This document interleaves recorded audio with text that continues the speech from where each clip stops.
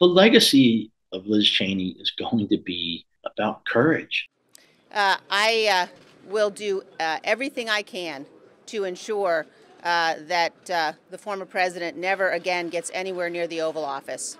In 2001, when Dick Cheney has become the vice president for George W. Bush, Liz Cheney gets uh, hired into the State Department. At the end of the Bush Cheney administration, Liz became a frequent guest on Fox News and spent a good six years or so as just this just acid tongued critic of the Obama Biden administration.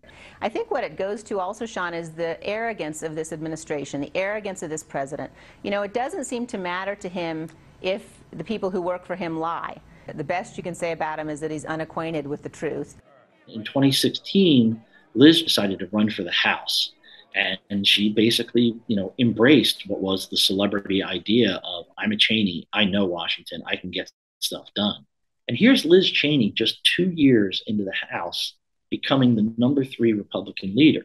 Her father, he did hold the same exact position, but it took him six years to get there.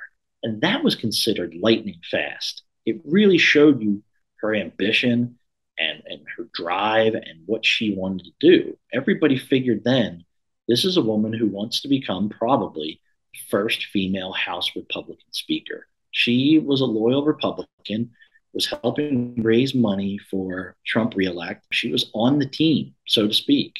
This president has shown um, that he is willing consistently to walk away from bad deals. He walked away from the nuclear deal with Iran. He walked away from the INF treaty. Uh, this is a president who has demonstrated his willingness and, and his ability and his determination not to let the United States be taken advantage of.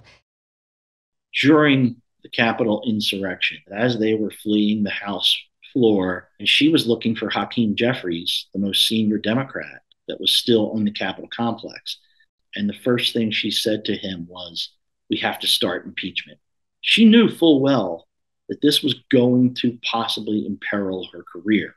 She made the decision that she was going to always speak her own truth.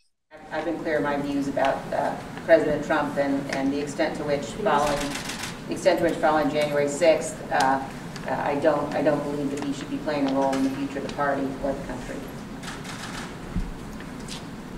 On that high note, McCarthy never attended another press conference with Cheney again. It would take another six weeks or so before they formally pushed her out of leadership. Another month or six weeks, the House voted to create this January 6th Select Committee. Pelosi gave one of her spots to Liz Cheney and Liz Cheney accepted. She was essentially accepting a Democratic spot. And if she just sort of had stayed quiet, she might have been able to navigate this and win re-election, still be in leadership and not have any real trouble at all. But at that point, Liz Cheney said no. She was going to go after Trump every chance she had. Liz Cheney, having lost her uh, congressional primary here in Wyoming, now faces the next question of what to do with the rest of her career. There are some who really do want her to run for president. She's she's not naive. She knows that this era's Republican Party is probably almost definitely not going to nominate someone who is being so much of a critical force against the former president. But she believes that there needs to be a candidate who will take on Trump every single day